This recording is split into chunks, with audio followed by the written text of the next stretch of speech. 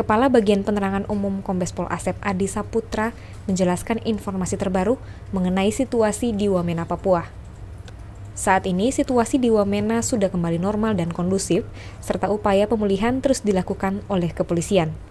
Kerusuhan di Papua didalangi oleh tiga kelompok di antaranya KNPB, KKB, dan ULMWP. Polri menduga dan mendeteksi bahwa akan ada aksi kerusuhan selanjutnya. Kombes Pol Asep mengatakan bahwa Polri telah menetapkan 13 tersangka akibat kerusuhan di Wamena, Papua, dan dari 13 tersangka ini, 10 tersangka sudah ditahan dan tiga tersangka lainnya masih menjadi DPO. Tersangka ditangkap akibat menghasut orang lain agar melakukan kejahatan dan terlibat perusakan barang. Jadi saat ini yang diamankan sebagai status tersangka sudah meningkat. Yang kemarin kita baru ada data tujuh orang. Hari ini sudah 13 orang yang distatuskan menjadi tersangka secara keseluruhan. Namun dari 13 ini 10 sudah ditahan tiga masih menjadi DPO atau daftar pencarian orang ya saya ulang ya.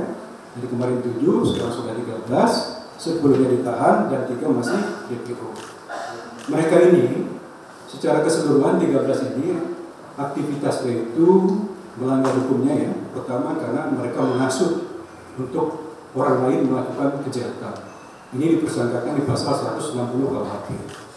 Yang kedua, mereka juga terlibat dalam aksi pengerusakan barang dan penyerangan orang secara bersama-sama di muka umum dan dipersangkakan di pasal 170 KUHP.